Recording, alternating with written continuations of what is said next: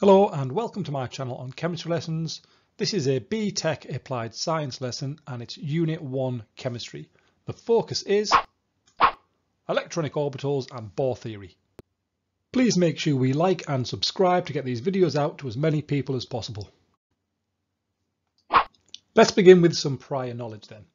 So from GCSE you should be aware of atoms consisting of protons, neutrons and electrons, the idea that protons and neutrons are found in the nucleus, which is at the centre, and that makes up almost all the mass. Electrons are then found orbiting this nucleus in electron shells. So if we were to take lithium as an example, lithium would have three protons and four neutrons in its nucleus. We would then have the first shell with two electrons, and then there would be a second shell with one electron. And this electron configuration would be called 2, 1.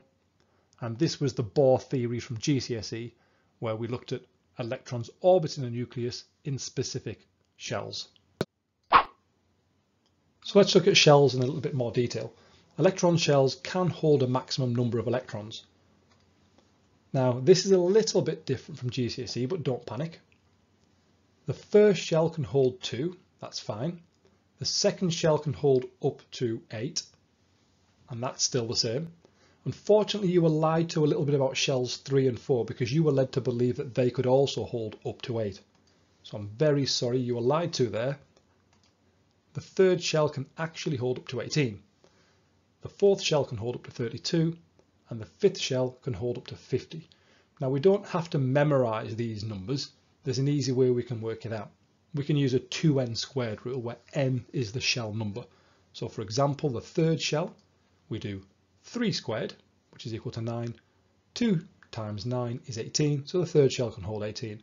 Why don't you try it for the fourth and fifth shells to see that we get 32 and 50. So we now know that not all shells will hold the same number of electrons. So we're going to look at shells further. So shells are actually made up of subshells. There are four different types of subshell, and we call these S, P, D or F subshells. Four different subshells can hold a different number of electrons. An S subshell can only hold two electrons, a P subshell can only hold up to six, a D subshell up to 10, and an F subshell up to 14 we can actually use the periodic table to help us remember the number of electrons in each subshell. Now the periodic table can be split into blocks. We have the S block on the left, the D block in the middle, and the P block on the right. If you were to count the number of atoms wide for each block, you'll see that the S block is 2 atoms wide. You'll see that the D block is in fact 10 atoms wide, and you'll see the P block is 6 atoms wide. And that corresponds to the number of electrons in each subshell. This block down the bottom that we never really talk about is known as the F block, and that's in fact 14 atoms wide. Mind blown. Now we can look at these subshells in a little bit more detail. So subshells, whether it's an S, P, D or F, are made up of orbitals. An orbital is defined as a region of space that can hold up to a maximum of two electrons. And the four different types of subshell have different shaped orbits or orbitals. S orbitals are spherical and P orbitals are what we'd call dumbbell shaped. So we know the number of electrons in each energy shell or each shell. 2, 8, 18 for the first three.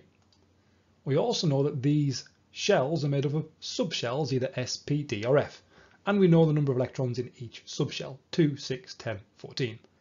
We also know that an orbital is a region of space that can hold up to 2. So the S subshell only contains one orbital, the P subshell contains three orbitals, the D subshell contains five orbitals, and the F subshell would hold or contain seven orbitals. That means the first shell then is just an S subshell because it only contains two electrons and we call this the 1s. 1 just tells us it's the first energy shell and S is telling us it's a, s subshell. The second can hold eight electrons, which is four orbitals. Now four orbitals would be an s and a p. Now 2s and 2p, that doesn't mean there's two of them. The two just denotes that it's the second shell. So the second shell is an s subshell and a p subshell, which is a total of four orbitals. The third subshell can hold up to nine, and that it consists of an s subshell, a p subshell, and a d subshell. 5 plus 3 plus 1 is 9 orbitals, which is 18 electrons. To summarise then, we know that shells is where electrons can be found orbiting the nucleus. We now know that they are made up of subshells. And those subshells, there's four different types. There's the s, the p, the d and the f. An s orbital is spherical, p orbital is dumbbell shaped. These subshells are made up of orbitals, and an orbital is a region of space that can hold up to two electrons. Thank you for watching and make sure you check out the next video on Aufbau principle and electron configuration. You'll find the link in the description below.